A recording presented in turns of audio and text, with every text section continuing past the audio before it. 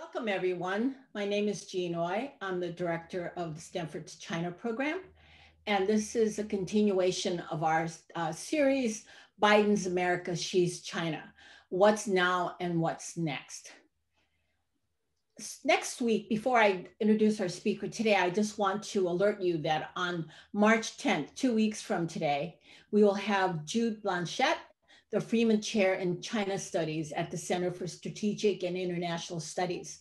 We'll be talking about what's communist about Communist Party of China, about the Communist Party of China, uh, where he'll trace the legacies of Mao Zedong, Marxism, Leninism, and the CCP's vision of socialism and their effects on Beijing's leadership today. Today, we're very privileged to have with us Dr. Thomas Wright, who will give a talk titled US China Relations in the Biden Era. And we have invited um, people like Dr. Wright to provide us with their perspectives on US China great power competition and the current bilateral state of play in economic, military, and technology realms. Dr. Wright is a specialist. He's focused on US foreign policy, great power competition, and the European Union, Brexit, and economic interdependence. He has a doctorate from Georgetown. He was a pre and postdoctoral fellow at Harvard's Belfer Center for Science and International Affairs, and as well as at Princeton. He currently is the director of the Center on the United States in Europe and a senior fellow in the Project on International Order and Strategy at the Brookings. His um, book published in 2017 titled All Measures Short of War, The Contest for the 21st Century and the Future of American Power. And he also has um, a book coming out in August called Aftershocks, Pandemic Politics and the End of the uh, Old International Order. Uh, he's doing this with Colin Kahl uh, at Stanford. And we very much look forward to that book as well. And he has uh, kindly agreed he might you know, integrate a bit of that uh, into today's talk. Um, today, what he's going to be doing um, in the talk is to analyze the roots of strategic competition between China and the United States and the various strands of thinking within uh, President Biden's China team. I just want to note that we welcome questions from the audience and please just type your questions into the question and answer uh, box at the bottom of the screen. Uh, I will be curating questions at the end and posing them to Dr. Wright. Uh, and with that, I turn it over to Dr. Wright. Dr. Wright. Thank you so much. Thank you for that very kind introduction and it's a great pleasure to be here. And I really appreciate the, the opportunity and it's a welcome reprieve from book editing I will say. And um, what I would like to do today is really talk about uh, four or five uh, things relating to the broad uh, topic of competition with China which I think really uh, has become sort of a dominant uh, concept or frame whether you're for it or against it in terms of US national security policy. And obviously, some of that stems from the Trump administration's um, decision to put great power competition um, at the heart of uh, their national security strategy and their national defense strategy. And we've seen uh, a real uh, increase in tension, obviously, between the US and China over the last few years, particularly, I think, last year in 2020, which is something I will come back to a little later on. But what I wanted to start with, and the, the first sort of thing I wanted to talk about is sort of the origins of this. What is the reason why the US and China find uh, themselves in a strategic competition? And I think there's a few different um, sort of explanations that are offered from the policy community um, and political leaders on the one hand and academics on the other. Um, the first is that it is a, a, a classic story of a rising power and a, and a power in relative decline um, clashing. This is the Graham Allison sort of view on the Thucydides uh, trap. Um, uh, but also you see it, I think, in the work of, of some uh, Republican thinkers like uh, Bridge Colby uh, who, who, and others who I think see it primarily as a military competition resulting from a change in the distribution um, of power. Um, I'm a little skeptical of that. I'll come back to that uh, in a minute. A second view is that it's a story really of a, of a, of a, of a governance decision by China that China has become a revisionist power, that Xi Jinping in particular is a revisionist leader. This was inherently the thesis of the recent anonymous article published by the Atlantic Council, which claimed sort of to be to be a successor to the to the long telegram, but it's all about um, Beijing and all about, to some extent, Xi Jinping um, and his ambition. And a third view uh, is um, that it's a really a failed sort of attempt to, to integrate China into the international order, that the West did not make enough room um, for China in the 2000s to be sort of co opted into multilateral institutions. And when they set up organizations like the Asia Infrastructure Investment Bank, um, we rejected it. And uh, as China tries to uh, carve out its own um, sphere of influence, not just regionally, but also its own sort of preferred options for global governance and for uh, for international order. That brings it into conflict with the US and with other democracies.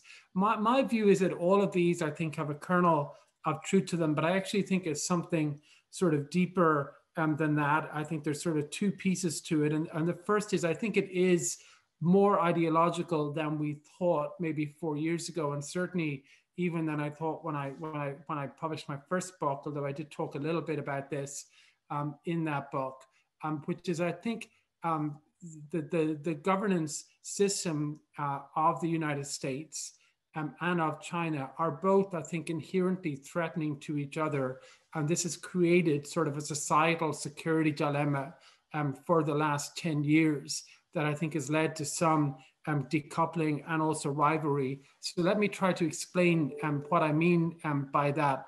Um, I think it's instructive to look back to 2012 when Bloomberg and uh, News and the New York Times, uh, both uh, through investigative reporting, uncovered uh, corruption in China, you know, whereby they looked at land records and the uh, the uh, the uh, members of the Politburo uh, were on paper of quite modest means, but their families were quite wealthy, and this, of course, kicked off uh, much of the corruption.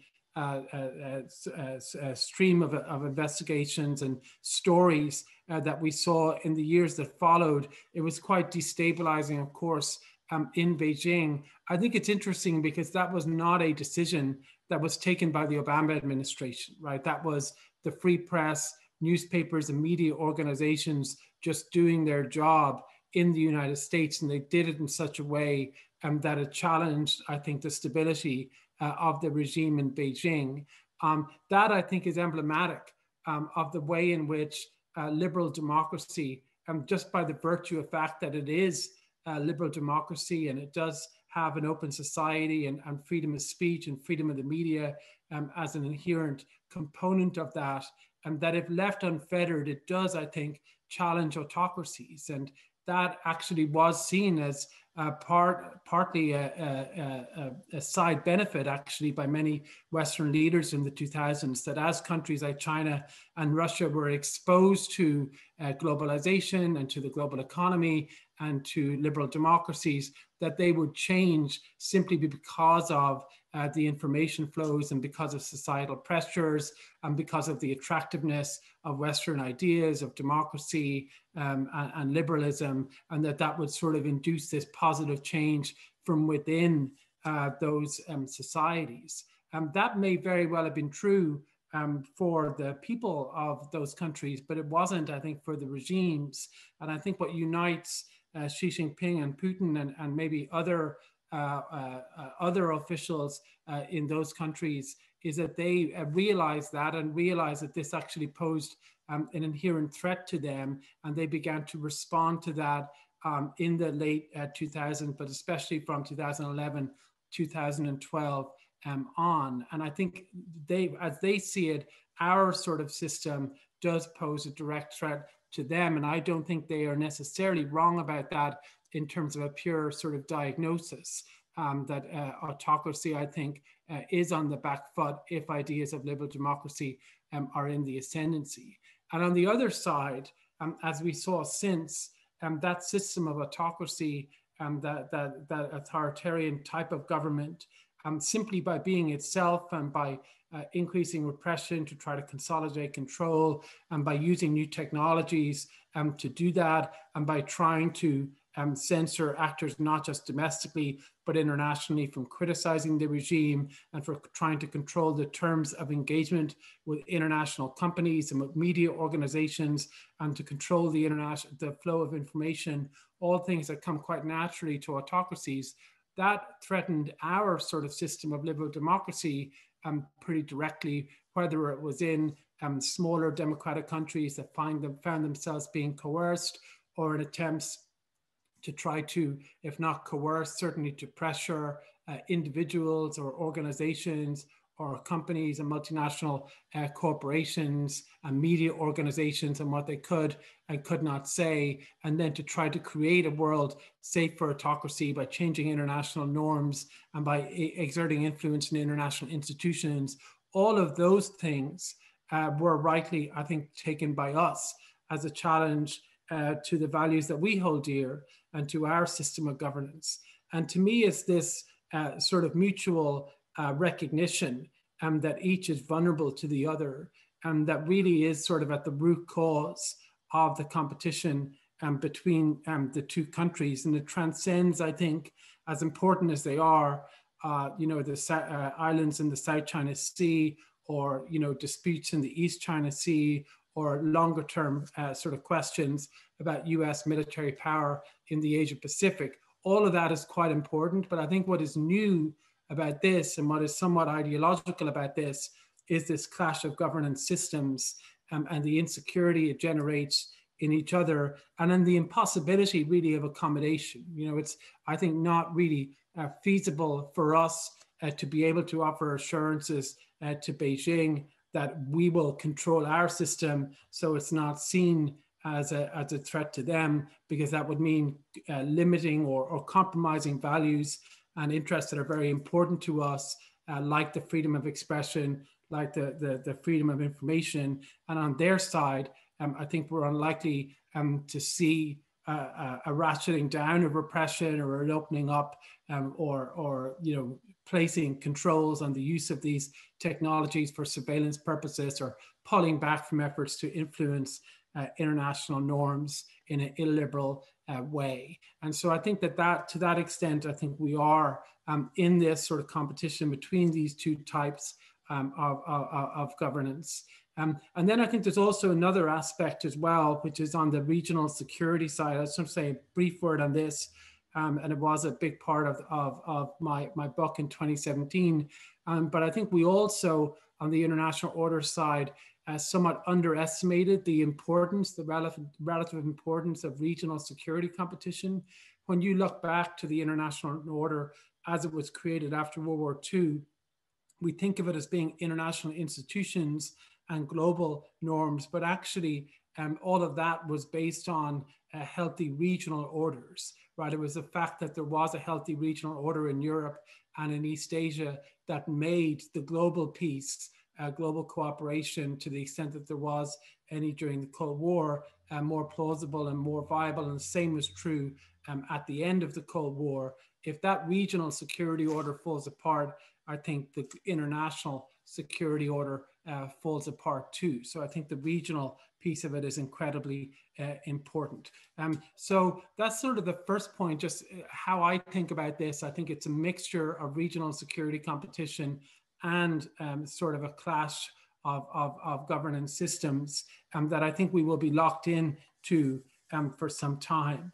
So the second uh, issue I just wanted to raise was on the Obama and Trump years and how that I think contributed um, to what we're seeing now. It's certainly true um, that in the second term of President Obama, I think uh, the US did gravitate toward a tougher line with China. And we did see uh, you know, we, we did see uh, increased freedom of navigation operations in the South China Sea. I think it did become apparent uh, in that time um, that we were seeing some regression uh, in Beijing in terms of uh, you know, Xi Jinping exerting greater control and the implications of that internationally. And of course, that was also uh, wrapped up in a context of increased rivalry with Russia after um, after the invasion of, uh, of, the annexation of Crimea and the conflict with um, with Ukraine.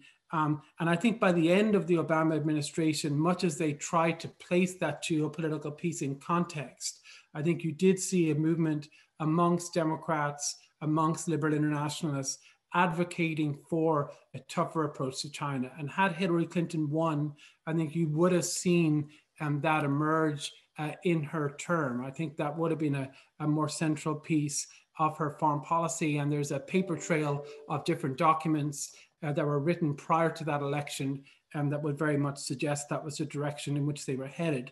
But of course, that did not happen. And instead, um, Donald Trump was elected president. Uh, he, uh, you know, is a was a is a man who has very strong views about the world um, that date back over 30 years.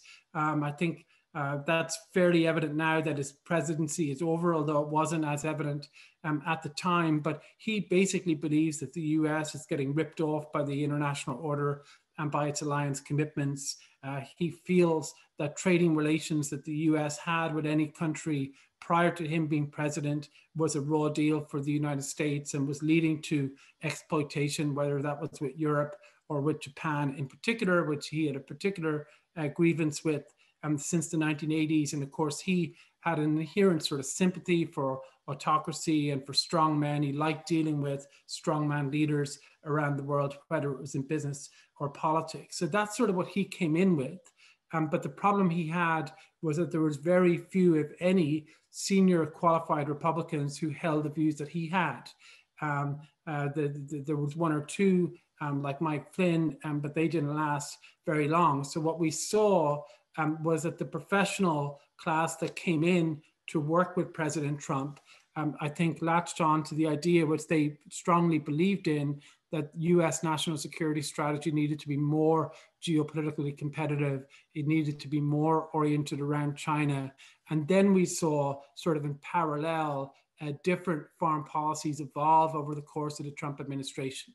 And the first was the president's individual foreign policy, which reflected his personal preferences, whether it was immigration, you know, anti-immigration or trade, um, or concern about allies ripping the US off, or particular issues, whether it's North Korea or others that he had a strong um, interest in. Um, so that was one track. The second track uh, was the track pursued by H.R. McMaster, Nadia Schadlow, uh, Rex Tillerson, later on Mike Pompeo, and others that was gravitating more toward the China piece. And they, of course, in the national security strategy and national defense strategy, um, opened up sort of a new chapter uh, in those doctrinal sort of statements that shifted US foreign policy much more toward China, much more toward competition with China, and particularly in the case of the Department of Defense, that had strong implications for budgetary uh, decisions and for procurement.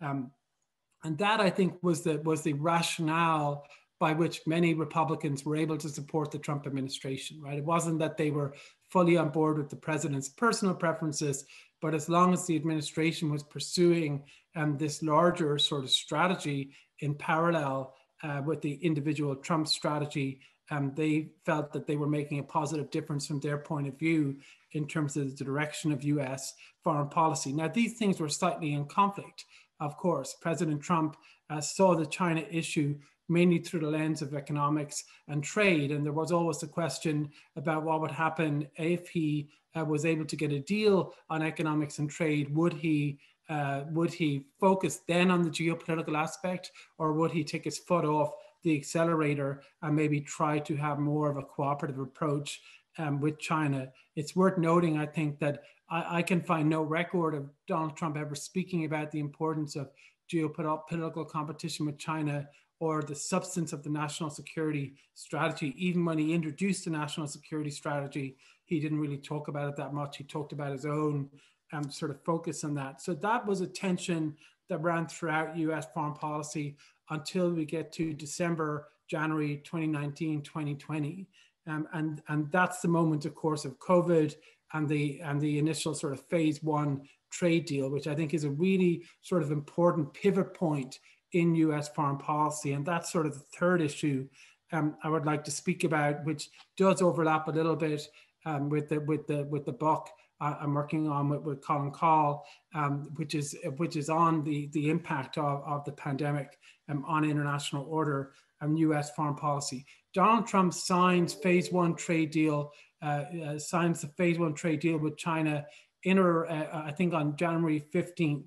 Um, the first case of COVID is in China on December 1. It's not detected um, until that that's known. It was on December 1. It's not detected until mid-December, of course. There's a delay and, and somewhat something of a cover-up in terms of China coming out to the international community and that the international community finds out on December 31, um, Xi Jinping sort of takes uh, control of the task force to work on the pandemic around uh, January 7th. And then we have this lead in uh, to the to the trade deal, uh, which is a success uh, from Donald Trump's point of view. And I think it's part of his effort to have a series of deals that he will then be able to use in the election to show that he's a deal maker rather than a warmonger, right? And that sort of shapes Trump's view um, of Xi Jinping's response to the pandemic in late January and even in the first half of February when there were all these statements about him praising Xi Jinping. When it becomes apparent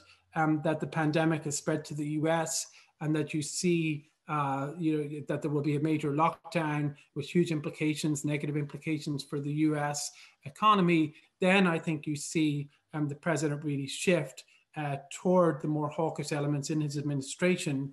And then for the rest of the year, I think we see Trump very much siding with um, that second group I spoke about, uh, the sort of parallel track foreign policy that saw China as the more center piece of US foreign policy. And with the president behind that agenda and that, that agenda uh, in, in, in, in full swing, we see a series of actions in 2020 that I think were inconceivable in 2017, 2018, or 2019, including on a targeted uh, decoupling, lots of restrictions on Chinese uh, technology firms, uh, greater, um, deeper relations with Taiwan, of course, later on the labeling of uh, the uh, uh, of the repression of Xinjiang as a genocide. So all of that, I think, happens partly because um, of the of the of the of the pandemic. So it is a big uh, sort of change point there. I think it's a change point in another sense as well, though, in another very important sense too, uh, which is something I want to come back to when we talk about President Biden's challenges, uh, which is the pandemic really does raise this vital uh, question about cooperation with China, you know, and uh, whether or not the US can and will be able to cooperate with China on shared um, challenges. Um, China uh, had put in place a series of important reforms um, after the SARS uh, uh, uh, SARS episode of 2002 2003. They created a China CDC and they put in place reforms to ensure there was greater transparency and speed of communication internally and externally in responding to the pandemic. And those reforms are quite important um, in H1N1 um, and also in other uh, in other public health um, challenges. In the 2010s, China began to play a greater role in public health diplomacy. It sent somebody on the mission, UN mission on, on Ebola in 2014. We also saw uh, during that period greater cooperation between China and countries like the United States and France and others on, on global public health exchanges and on capacity building. Um, so all of that was sort of to the good and it was seen as a pretty significant success story. But when we got to December 2019 and January 2020, um, much of that melted away, right? And those reforms were less significant um, than some of the sort of visceral impulses, which brought us right back to SARS in terms of the, uh, the secrecy um, of the response and the reluctance to cooperate with the World Health Organization and the international community. And the reason this is significant and that it's significant, I think, looking forward, is I think it tells us a lot about the limits on cooperation between the US and China, right? Here we had a real world um, sort of example of pretty successful cooperation. Uh, we always talk about the need to cooperate and shared challenges. Uh, but then when the rubber hit the road, um, it turned out quite differently and much more negatively um, than we would have hoped for. And that story, I think, plays out not just in the United States, but in Europe, in Geneva with the World Health Organization, in, in, in many other parts of Asia uh, throughout 2020. And it's accompanied, of course, with a more assertive uh, Chinese foreign policy uh, and a more assertive Chinese domestic policy in terms of the approach toward Hong Kong and Xinjiang as well. So 2020 for me is a crucial year because of all of those developments on multiple fronts, where you've everything essentially coming together. You have this inherent sort of distrust uh, between the US and China. Uh, you have this failure of these efforts of cooperation that preceded uh, the Trump administration. Uh, you have this global pandemic and this uh, uh, assertive response, and you have a very assertive, of course, US response uh, toward uh, toward China. So that brings us to the U.S. election, when of course Joe Biden runs for election on a pretty tough stance toward China, where he says that Trump's the problem with the Trump administration's foreign policy is that it wasn't tough enough, or a talk to tough game, but it let China off the hook in a number of areas, particularly on human rights um, and the rule of law and international norms, uh, which of course is something some people in the Trump administration spoke about, but, but was also the one area that President Trump was probably the least uh, sympathetic or comfortable because his sympathies uh, were, were, were, were, were uh, relatively illiberal uh, in nature. Um, so Joe Biden wins the presidency, I think, having stated that publicly. But when you look uh, sort of under the hood of his uh, of, of developments amongst Democrats in the intervening four years, I think it's an interesting picture. And that brings me on to the fourth and sort of final topic I wanted to address before we have a conversation, which is uh, the which is Biden's um, foreign policy, because I think it, we often look at the democratic debates in foreign policy and see it as an issue of, of centrists versus progressives, right? That there's, or it's a domestic focus versus an international focus. But one of the fascinating things uh, to me about the uh, uh, democratic foreign policy thinking in the Trump uh, period um, is that there is this active debate between centrists, right? There are people who served in the Obama administration who are debating publicly between themselves, and it's basically divided into two camps. Um, the first camp I call to restorationists, who essentially uh, believe in the worldview as President Obama had it at the end of his administration, right? So they believe in very similar things that Obama sort of talked about at that time. If you were to hear statements that they made, they would be sort of in keeping as coming from a US official in 2015 and 2016. So the importance of balancing competition with China with cooperation and transnational challenges, um, the, the, the desire to, to get into and then to, to make a success of the JCPOA while play, you know, playing a, a a role in the Middle East, broadly supportive of globalization and trade deals, including TPP and TTIP. Um, so on a wide range of issues, I think uh, you, you see this sort of continuity.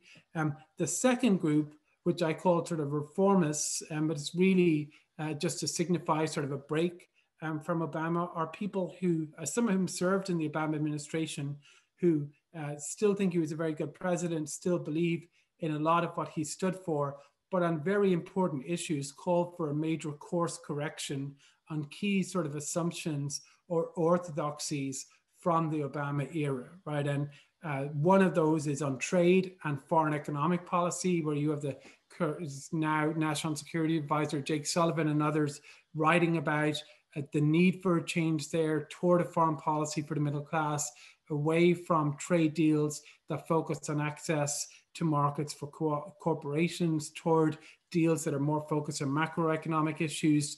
Um, and the other big issue is on China, where you see a number of Obama officials say that successive administrations got China policy wrong, including Obama, that that era of convergence has given way to strategic competition, and you have to have a more competitively minded uh, democratic administration if Biden were to win. And that China debate, I think, uh, really uh, is the most significant debate amongst Democrats, maybe alongside the economic one um, during this period. And it's sort of a blended debate, right? Everyone agrees on the need for competition and cooperation. So they agree on all of that, but they place different weights on different elements of it. Some, uh, those who want a tougher line, are more willing to have friction in the relationship. They're more willing to push China to take risks. And they see it as a more defining uh, uh, competition um, than it being just another sort of an important issue, but one of many, right? And they're willing to sort of see much of US policy toward that prism, uh, whereas the restorationists tend to be uh, tend to believe that Obama got the balance sort of correct and that you needed a strong sort of bilateral track uh, with Beijing uh, from the beginning uh, in a new administration. So this debate is sort of pretty alive and well. And to me, what's sort of very significant about the last two months is it seems pretty clear to me that President Biden has chosen to come in on the side of a more competitive approach, right? That they have chosen individuals and also made statements and made some early moves that indicate in the in the first phase at least um, that they are looking to have sort of a democratic or liberal uh, version of strategic competition with China. So it's very it's different in important respects from that offered by Donald Trump, and I'll talk about that in a moment. But it's also a significant shift from where President Obama was in 2016. Um, and some of the people who were very active in that debate, um, more on the competitive side, included Jake uh, Sullivan, Kurt Campbell, who's now the coordinator for the Indo-Pacific, and Ely Ratner, who's at the who's at the Pentagon, who all wrote pretty prominent um, articles um, making and that case. So uh, Biden, I think, over the last couple of months has made um, that decision. And now they have sort of a foreign policy um, outlook that I think is placing the Indo Pacific and even the term Indo Pacific, I think obviously has some weight here in terms of indicating a particular direction um, that they that they wanted to that they wanted to take. Um, so I think that is sort of the, the, for them one of the top two issues, along with the new approach uh, to foreign uh, economic policy. So what I wanted to do in my remaining time is to talk about some of the challenges and dilemmas I think that will arise um, as they look at this, right? And some of the broader questions, because for me, what's quite important now is that we're, we're sort of in the second administration since the US decided to think very seriously and deeply about strategic competition with China, right? And what happens now will sort of, um, I think, set the tone for some time in terms of whether or not there can be a broad bipartisan consensus and what future Democratic administrations um, are likely to look back to in terms of guiding uh, principles um, for this um, competition and then how to resolve some of those dilemmas and problems um, that will arise. So I'd just like to talk briefly about some of those um, challenges that, that, that I think anyone who's looking at this issue will have to answer. The first is how broad should the competition be? You know, is this a global competition where the US should be active in the Middle East uh, to compete with China and maybe Russia as well? Uh, is, it, is, it, is it going to cut across all aspects um, of the economy or is it a more focused um, competition? And to me, it should be fairly focused, right? I think um, that this is not the Cold War. We do have two countries that are highly interdependent with each other, even as they are devolving into more semi autonomous sort of blocks, each led by one of the major powers that do have all of these interactions with each other. So there is a much more complex relationship between these actors than was the case um, during the Cold War. And there are parts, I think, of the relationship that are the, of that competition that are very crucial, and that are parts um, that are not. And to me, on the regional side, you know, East Asia uh, is uh, very important. The Middle East, I'm not so sure. I, I, in fact, I believe it is not a, of equal importance in terms of that um, competition, uh, in, in, terms of that great power competition, and that one of the mistakes we want to avoid, I think, from the Cold War is seeing everywhere as a center of gravity. You know, that the, that's what sort of the mindset that got the US involved in, in Vietnam during the Cold War was seeing that as, as key to the struggle with the Soviet Union. Where we are now, I think it's really about trying to identify where the different centers of gravity actually are and engaging there. But I think that is an active debate, maybe a bit more on the Republican side um, than on um, the Democratic uh, side. Uh, the second dilemma I think that arises is this question of cooperation. You know, is how do you cooperate with rivals? Um, the U.S. and Soviet Union cooperated on nuclear, uh, the Nuclear Non-Proliferation Treaty, on the eradication of smallpox, and on a variety of other things. Um, but for the most part, the relationship was defined by a lack of cooperation. The US and China have more shared interests. So the question is, how do you do that? How do you work together on climate? How do you work together um, on pandemics? And I think this is something that needs a lot more work and is a real contribution that the Biden administration can make. It's coming up with a conceptual framework uh, for how to think about that. Um, uh, I wrote some pieces or a piece about a month ago on, on climate change and the risks of having a China policy that had climate as the top agenda item that was linked to other items because it could give Beijing a reason to withhold cooperation in China in order to get concessions in other areas, and that it was important to silo that out or seal seal that off so cooperation continued even if the rest of the relationship was contentious. Others say it's impossible to do that because climate is linked to so many issues. And others again say that, you know, it is linked to other issues, um, but there is a way to try to insulate it from strategic competition and that in some ways climate may itself become a zone of competition as the US and China compete uh, for clean technology uh, uh, first mover advantage and to be sort of a leader uh, in those in those areas. So there's a very active debate on the climate side, as I alluded to earlier. There's a very active debate on the pandemic side. If, when we come out of the pandemic, do we go back to the old style of public health cooperation with China? Do we try to work purely within the World Health Organization with China to deal with future pandemics? Or do we develop sort of fallback options with more like minded countries, whereby the US works within global institutions, but then also has other options if that cooperation breaks down? That's a discussion I think that's only beginning to get underway. But this broader issue of how rivals cooperate, which also I think applies to Russia and relations with Russia and arguably with some other um, countries too, that's a second big uh, dilemma or issue, I think, uh, that the Biden team will have to unpack. And then uh, the third sort of issue that I think they need to address, um, well, the third and fourth, I'll take them both together. The third issue is ideology. How ideological is the competition?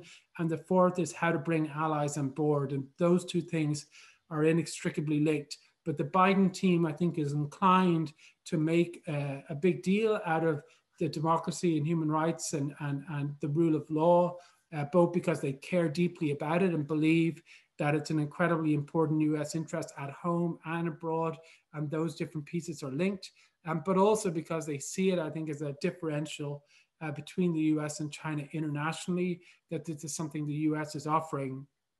European allies in particular worried about worry about that because they see it as maybe furthering sort of an ideological Cold War that may make cooperation uh, less likely um, and, and, and, more sort of difficult uh, to achieve. So, how to sort of blend that strong support for democracy and the rule of law and working with other democracies uh, while also preventing um, the, the US China competition from evolving in a way that leaves really no room um, for dialogue uh, or discussion. I think that is also a very tough uh, sort of balancing act. And I have some thoughts on how to do that, but I'm happy to bring those up in the in the question and answer uh, period.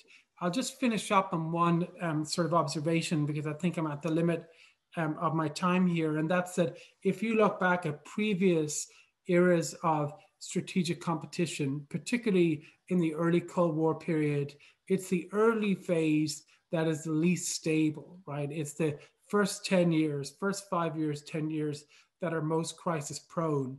And the reason for that is, is that during that early phase, we don't know what the real red lines are. We don't know the general pattern of behavior.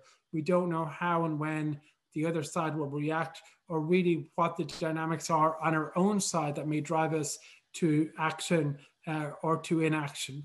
All of that only becomes apparent not through various statements and policy papers, those are important, but by repeated uh, sort of iterations uh, of the of the problem, right? Where you have countries react in real time to many crises or real crises or to real world problems and dilemmas, and it's by getting a sense of that sort of pace of events and that sort of tempo that then the major powers can sort of calibrate their behavior accordingly. We are very firmly, I think, still in that sort of first um, phase. So I think the next four years could uh, be pretty dicey um, in some ways. Um, but to me, the great sort of challenge is to come up with, and everyone has their own term, but mine is sort of a responsible, responsible competition. Uh, so we have a competitive uh, a strategy toward China that takes the competition seriously, works with allies, but also tries to provide um, sort of a new framework uh, for how rivals can work together and, and if they can't work together, how to come up with fail-safe options so like-minded uh, liberal democratic countries uh, can work together uh, to create an international order that is hospitable uh, to their values and interests. And, and with that, um, I'll leave it there and I very much look forward to the discussion. Um, thank you very much. That was a very clear and extremely useful um, analysis. You covered a, a lot of material. Um, let me start out the um, questions with a broad one um, of my own. Um, and you use this uh, term, the clash of governance systems, which reminds me in a part the um, you know earlier Huntington story, the clash of civilizations. Um, and with this um, clash of governance systems, I want to tie that with the comment that you made. The one of the challenges about um, you know how much of this is ideological. I mean, because that has been a, a I think a very important question. And if I understand you um, correctly, um, the, the, the challenge or the danger is turning this into an ideological clash. Um, is one, is that correct? And then two, uh, to bring in one of the first uh, questions from the audience, but I think it's related. And that is, you know, if you have this clash, um, what, and this is from Tom Fingar, question from Tom Fingar, you know, what things uh, that the US would want to do that it no longer can do in East Asia or elsewhere because of China's rise. Um, given what you identify as China's fears about the US, namely the appeal and the efficacy of our systems, shouldn't Biden devote more efforts to improving US infrastructure, R&D, education, social justice, etc., than strengthening the US military and constraining China? Yeah, no, great, great questions and, and observations. Um, so just on the last point, I mean, I think it's possible to do both. You know, I really do. I don't, I don't see, I actually think they're somewhat complementary. And I think uh, the trade-off, um, I don't really understand how it works to say, you know, that the US foreign policy apparatus ought to spend more time working on sort of domestic issues uh, because for Secretary Blinken or for others, um, you know, it's sort of hard to see how that works. I mean, they their job is to play this pretty large bureaucratic infrastructure. I think Congress obviously does things for its own reasons, but I think it is possible, you know, to do those two things in parallel, and that um, the domestic agenda I think does make the U.S. stronger internationally, but that doesn't negate the need for a strong um, sort of foreign policy um, as well. Um, but with that said, on the ideological piece look, I think some measure of ideological competition is,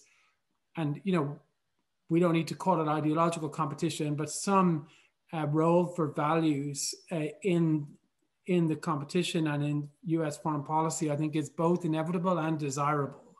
Right, I wouldn't like to see a U.S. foreign policy that treated it as a purely sort of Kissingerian, you know, relationship that said nothing about what happened in Hong Kong or what's happening in Xinjiang. Um, I think there are broad questions of values in terms of uh, you know, whether we are concerned about Huawei playing an active role uh, in Europe, for instance, or even in the United States. I mean, that's ultimately a values question as well as an economic and technological question because it's about what that will be used for. So I think that that is, uh, I think it is important uh, to to have that, but I think it's also important, obviously, to preserve some um, sort of diplomatic space. The final thing I would say just on this is that uh, you know, maybe it's a competition of governance systems rather than a clash. I think that's probably, I probably misspoke maybe during the talk, but I'd probably use the word competition because I don't think it really has anything to do with civilization or with anything about that at all. And, and all of that, I think, is, and one Trump administration official did use that term, I think it's extremely sort of unhelpful. The point mm. I'm trying to get across is that in the Russian and in the Chinese case, you know, part of the reason why they are behaving the way they are is because I think they are deeply insecure about their hold on power and right. they're undertaking actions that then make us less secure. And there is no easy way to solve that because what it would take for us to assuage those fears are things that we would rightly deem to be completely unacceptable that we wouldn't want to do, right? Like prevent, you know, media organizations from saying what they want to say or you know uh, closing down the internet or suppressing free speech. So that's my main sort of point is that i think there was a point in 2008 09 10 and 11 when the autocrats sort of realized you know if we don't push back then you know our societies will become more politically liberalized and, and we don't want that to happen Okay, good. Let me um, follow up um, a bit on this. And this is a question from Dan Sneider. And he says that you have a you have pointed to democracy and human rights as a crucial area of defining competition with China and other authoritarian states. But as we see with cases like Navalny in Russia uh, or Burma in Asia, this is hard to implement in practice and already has led to some gaps between the Biden administration and allies in Europe and Asia. How do you see Biden handling this going forward? Yeah, I think this is a big it's a challenge anyway. Um, it's a challenge for me to, uh, you know, to answer the question. I think it's also a particular challenge for Biden. So let me sort of take both those in turn. I mean, I think that there there will always be inconsistencies um, on on some of these, and and the actions won't always be in keeping with the statements. But to me, what's important uh, first and foremost is sort of the protection of democracy and the rule of law where it is currently being eroded. Um, and that if we don't sort of engage in that in a pretty strong way, I think that erosion and that democratic sort of liberal democracy recession will continue. And I think we see in countries like Australia that are under considerable pressure uh, from China in multiple ways. I think we see it from the actions of countries like Saudi Arabia, you know, toward Canada and toward Germany over the last four years. Um, that there are lots of ways in which uh, autocracies have been emboldened and are sort of, if not quite interfering, and sometimes they do interfere in democracies, at the very least, sort of undertaking you know actions that can compromise our liberty at home right? And uh, some of the values we we cherish um, at home. And what we need to do is to work collectively with others. And the united states i think has a particularly important role as the strongest uh, uh, democracy uh, to actually have solidarity between democracies so they inoculate themselves from you know the term I use is sort of the negative externalities of autocracy, right? So um, so how, how do we sort of make ourselves more resilient so we're less susceptible to that? So that would be my sort of general answer. I think then there are also issues like Navalny's arrest in Russia or like what happened in Hong Kong that are more traditional, where you're talking about developments inside autocracies. Now, Hong Kong, of course, is a special case because you know, it wasn't democratic, but there was a rule of law that was eroded. And so that sort of counts both on the regression side and on, you know, developments inside an authoritarian state. But there, I think there are some options, you know, and the special status of Hong Kong is one of those. And there are others as well. That brings me on to the um, question about Biden. I think their challenge is going to be whether or not they um, follow up some of the very strong statements they made with actions and then what those actions are.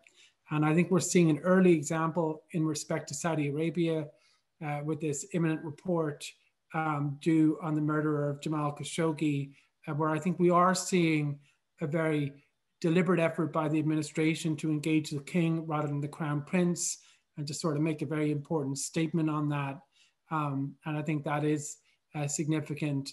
Um, there are many other, the, the, the Burma, you know, Hong Kong, Xinjiang, and Navalny are all other sort of tough cases. But pretty soon, I think they will, you know, the challenge will be how is how do they respond? And you know, it could include sanctions. I don't think they're hugely effective. But one area where they may make a big move is an anti-corruption, um, where they could, I think, make if they were very, and I think anti-corruption is it's a complicated issue more than it's sometimes presented as, but that is one area there's been a lot of activity amongst sort of Democrats in those Trump years that that's where they want to make a big play is go after these illicit networks of finance, and that's actually something that unites the progressives with some of the more centrist elements. So I'd keep an eye on that as well as a centerpiece as something Biden may come out with in the next year or two in terms of that values competition.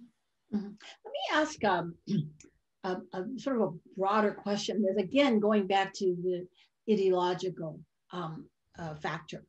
I mean, it's not like uh, I think we all know it's not like the values in this ideology has really changed that much. I mean, China has remained a communist country uh, but there have been long periods when there was a lot of cooperation. So essentially, you know, what has changed? Why has ideology, why, you know, why has ideology all of a sudden become so important in this discussion? It's, and so, so is that in fact uh, suggesting that something else has changed, but we're resorting to um, uh, the, the use of the term um, uh, ideology? Yeah, I mean it's a it's a great question, and I guess I'd answer it by talking about the specific example of the pandemic, right? So why why when COVID hit was China reluctant, you know, to acknowledge it, um, to to allow in the WHO, you know, to share samples of the early versions of the virus still with the international community, and you know, in February, March, and onward to sort of take active repressive steps against journalists and doctors who did speak about it publicly and did raise the alarm. And I think part, you know, one could say, look, you know, an authoritarian state is always going to behave in that way, and they sort of behaved that way in 2003, and so there's no real change. Um, and anything in the intervening period that hinted at major change was, was not really going to last.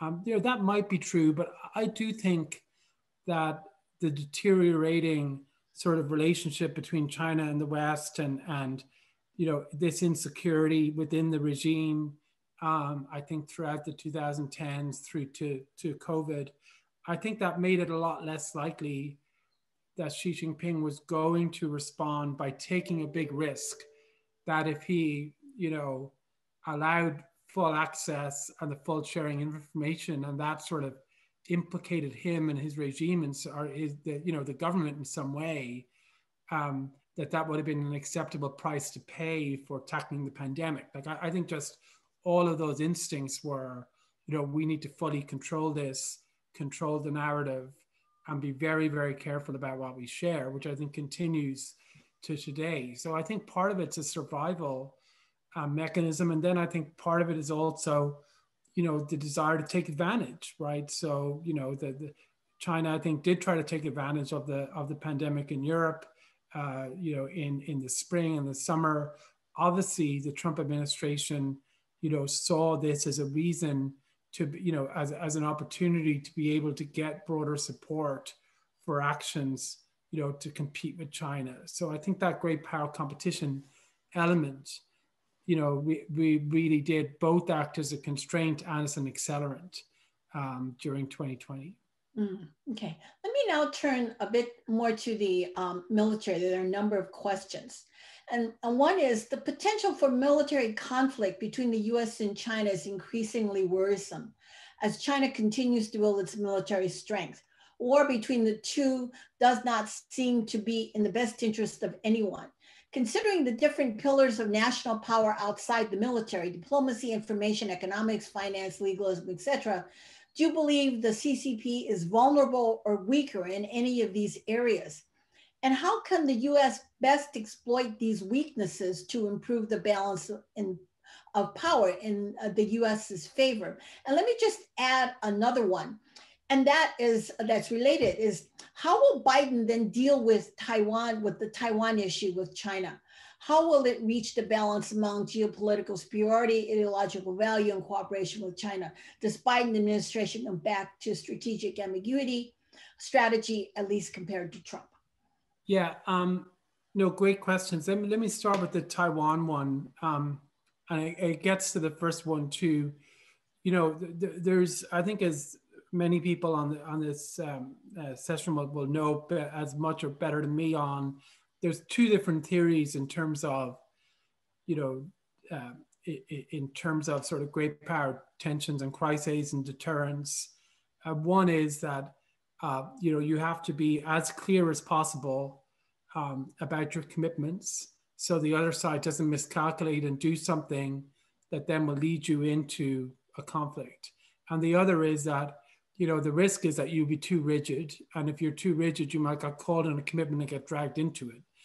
And, you know, it's the, the World War One parallel is, you know, whether or not the, the UK got, you know, Europe got enmeshed in World War One because of all these pre-existing commitments and these alliances that, you know, many people, particularly Barbara Tuchman wrote about many, many decades ago, or the problem was that Britain was not clear enough that it actually would get involved. And that had Germany known that Britain would get involved, then it wouldn't have actually, uh, you know, been as uh, as assertive in that August crisis, right? And and I, I just mention that because I think that does play out in Taiwan policy today. Like, is the root of the instability that the U.S. is committed to defend, defending under certain circumstances, obviously in, in the in the framework of, of the um, of the policy, and that the U.S. has commitments to Taiwan, and that if China acts, then that results in a conflict. And the the, the what needs to happen is that the U.S. comes up with some sort of clever ways to be more ambiguous there, or is the problem that the you know that China would miscalculate by thinking that the U.S. would not get involved, and that you need to be clearer about that commitment. And that's a debate that's very alive among sort of scholars and experts and academics. Um, I think in the policy world, um, the general view is that the risk is actually being too ambiguous, right? That that could actually lead to a miscalculation on Xi Jinping's part, and that the U.S. needs to, uh, you know, needs to develop closer relations with Taiwan. I think it's fairly clear that Biden has decided, you know, at least in this early phase, uh, to continue sort of the close relationship that the previous administration was developing in ta- with Taiwan, albeit maybe in a little bit of a different way. Um, the fact that there was an official representative at the inauguration, I, I think we still haven't seen sort of a reversal, I think, of that last minute change by Pompeo on the protocol side. Um, you know, there's been statements um, supporting sort of Taiwan. I think you are going to see more continuity there. I think where where they will probably see um, maybe an area where they may be a bit different to the Trump administration is they'll probably embrace the multilateralism piece and actually make the case for greater international space for Taiwan in international forums, and that that they will believe is more credible coming from them because they are also committed to those forums, right? So the Trump administration wanted Taiwan in the WHO, but then left the WHO or said, you know, gave notice of leaving the WHO, which sort of pulled the plug from from all of that. So I think they see a difference there. Um, on your first question, just very briefly, um, you know, I've long thought that the the security relationship or the security competition, while a major challenge, I don't think we're on the brink of war. You know, I don't think that Kevin Rudd or Graham Allison's warnings, you know, I, I, I don't I don't think they they um, are quite right. Actually, you know, I think that there is no one on either side who's advocating for an early war or a major war, that there's not this sense of losing time, you know, where you see people saying we need to have this now rather than in five years or 10 years. Each side, I think, understands that a war could be catastrophic. I mean, for for for Beijing, losing a conflict with the US or with Japan, you know, even a limited conflict will be existential in terms of regime survival. And for the US, I think uh, you know, I don't think anyone's under any illusion how how, how dangerous and difficult a, a conflict will be. So obviously, each side has their red lines, and they have you know interests that they won't back down or compromise on.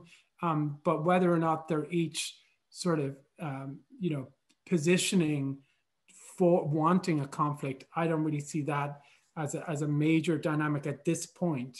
Um, so the so the challenge is, I think you the questioner rightly identified is the balance of power, and it's whether or not that can, uh, you know, prevent be prevented from evolving in a, in a very negative way that it would change the calculation, you know, in in Beijing on what they could get away with, and and I, I think we're likely to see, um, you know, continued.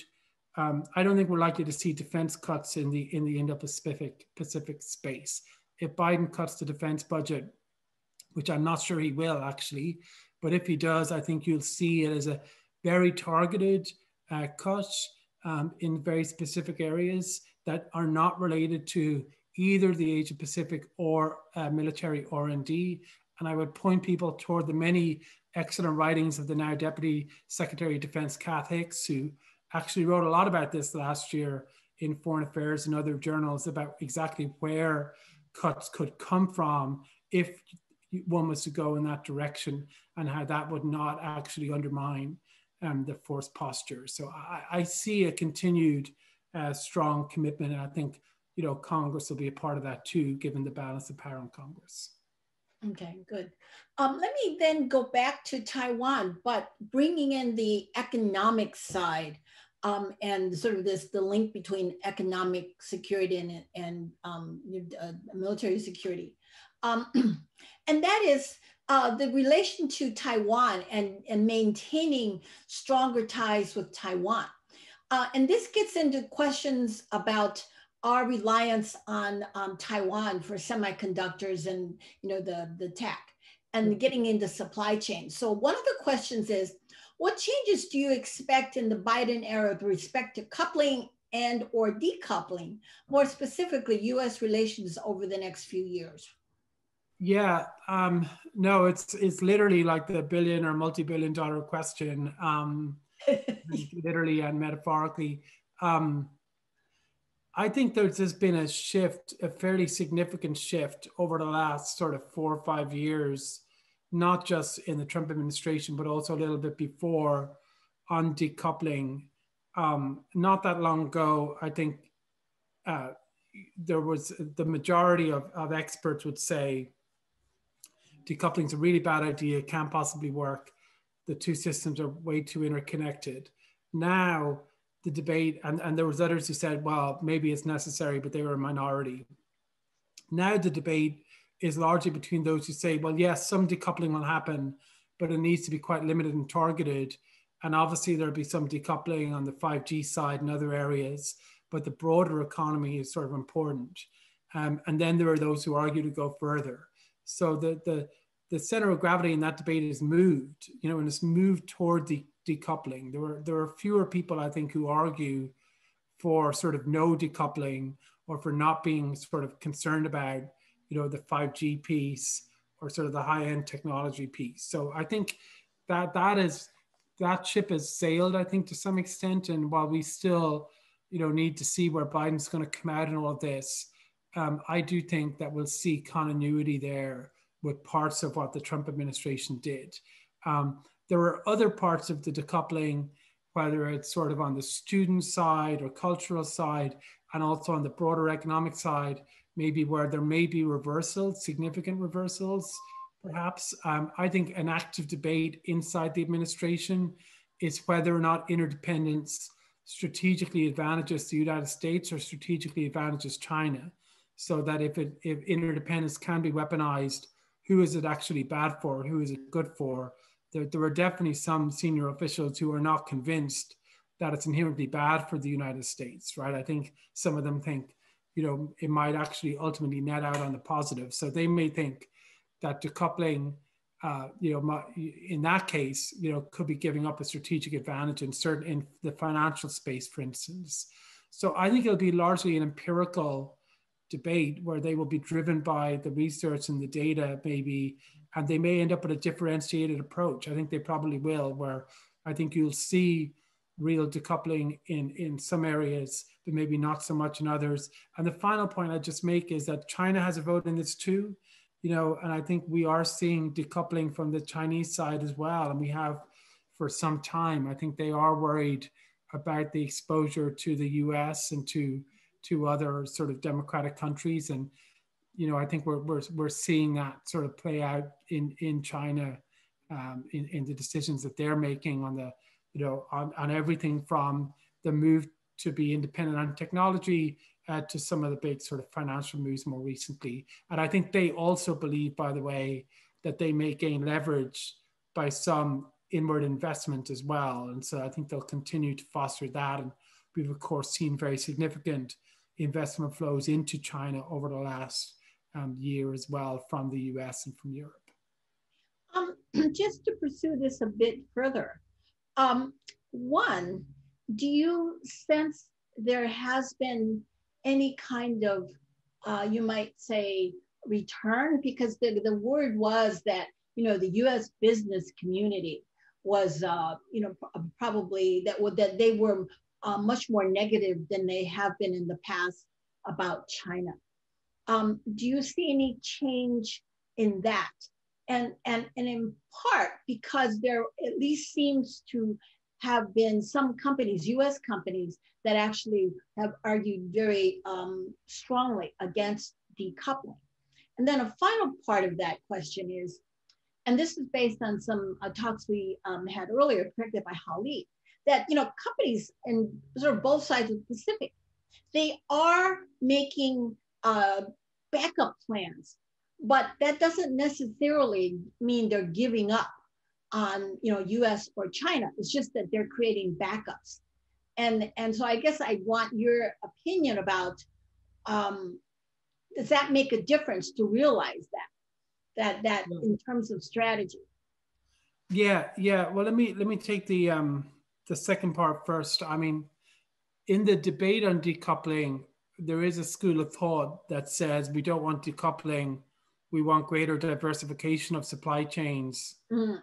I don't actually see the difference. Like I know what they mean the difference is, but uh, I think ultimately that's another form of decoupling, right? Like if you have if you have greater levels of redundancy and greater diversification in in supply chains and in other uh, you know international ties so that you're not sort of fully dependent on China, then you are in a way decoupling from China, right? It may not be done through uh, legal means. It may not be necessitated by the US government or compelled. You may still have operations in China, um, but diversification to me is, you know, is toward the same goal.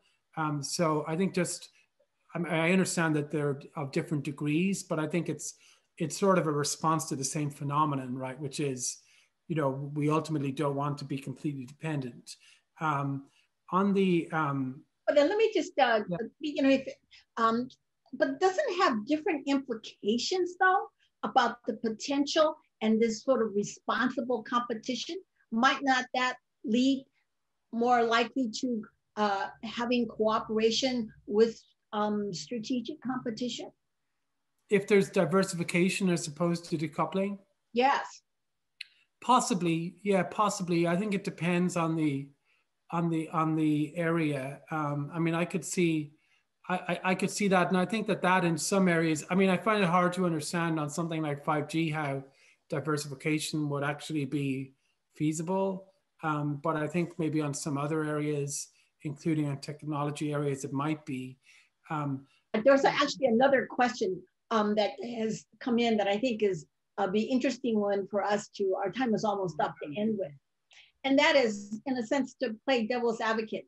You refer to the deteriorating relationship between China and the West, but um, it does seem more between US and China, with most other countries taking a much less belligerent, more cooperative attitude toward China.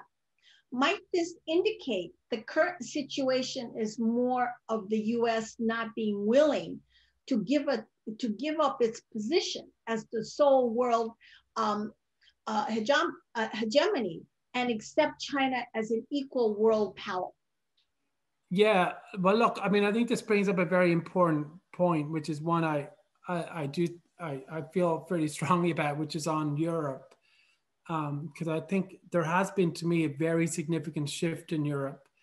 The comprehensive agreement on investment notwithstanding, Europe's become a lot more skeptical of China over the last year, mm. right? And their view is basically that their efforts to cooperate and to integrate China haven't really worked, and that they're feeling pressure from China all the time and they want a common approach in Europe to be able to have more weight in pushing back. And to me, what that experience suggests, and you know, China is becoming a political issue in Europe. You're having parties running elections on platforms mm. Mm. pushing back on China. And it's not just the right of the political spectrum, it's the Green Party in Germany, one of the strongest skeptics the SPD in Germany, both, you know, center left and green, both in some ways more hawkish in China than the center right in the CDU and the CSU. So you have real sort of changes. And to me, what that says is actually this is not about the US, right? Because if it was all to do with Trump, then what you would see is that US China relations would be deteriorating, but China Europe relations would be getting better right? Because China and Europe would take advantage of the fact that the US was out of the game for that period and they'd be working more closely together. The opposite actually happened, right? So at exactly the moment where you'd expect, if you believe this theory, that you know the if the US became quite nationalistic, then you'd expect to see China and Europe move more closely together. The opposite happened, and China and Europe actually moved further apart. So I think that's you know a very important uh, sort of example to illustrate that this is a broader phenomenon, mm-hmm. largely driven through China. And just the other point, I did remember the point I wanted to make just on the interdependence. You know, we often talk about business interests as if they are sort of the driver of you know the political side right? And so business doesn't want this to happen it doesn't happen. I think one thing we've learned from the last decade not just on us china but also from brexit and a lot of other things is that ultimately when when business and politics clash, politics wins, right? Like when national security and business clash, national security wins, uh, which is to say that where if there is a significant gap between where official Washington is on China and where you know some of the business interests are in China, that ultimately nets out, I think, more on the side of the of the political national security concerns. And so I think, you know, it's an interesting thing to watch, but I, I don't think, um, I don't think some of those investments ultimately will, will actually, you know, be a real sort of break on, on, on, on the trend. Okay, we have two more minutes. So let me just squeeze in this one question because it's related to your comments on Europe. And that is, how do you think Biden should try to work with European countries that are more beholden or influenced by Chinese investments, trade, uh, example, Belt and Road? Can Biden persuade or even pressure allies into turning away from China? Oh, this is a really great question and, and one I'm thinking a lot about at the moment. Um, and I don't know if we have time to, uh, I'll do my best. Go ahead. We'll I mean, I think Biden does not yet have a Europe strategy to unpick the lock of getting Europe on board uh, for a common position on China, right? I think the Europeans are worried about the ideological nature of the uh, US uh, discussions in China. The, that aspect of Biden's speech in Munich concerned them a little bit. They're worried about getting dragged in uh, to sort of a new Cold War. Um, they are at the same time worried about China. There are things that they want to do um, I think ultimately to, to cut a very long story short, this has to be done by a much greater investment in diplomacy with Germany. And I think uh, Germany is sort of the key to this. Um, I think the Chancellor and her likely successor are both inherently skeptical of US competition with China, um, but there are things that can be done at a practical level, um, including on semiconductors and 5G, and then on engagement in the broader German political system to start out small, but actually begin to put the building blocks in place for sort of a common um, position. And then also, of course, to work with the EU as a single entity, uh, because many of the things that need to be done on China in Europe rest with the EU and not with NATO. Um, so things like investment controls, EU versions of CFIUS and the like, all mm. of that is more in that space uh, of the EU uh, than in the traditional military side of it. Oh, our time is up and it's perfect. It's exactly 1:15. Clearly, we need to have you back after your book comes out in uh, in August. So uh, we look forward to um, finish for you to encourage you to finish it quickly so we can benefit from. And thank you very much for your um, sharing your insights with us. And thank the audience for all of the great questions. So thank you very much.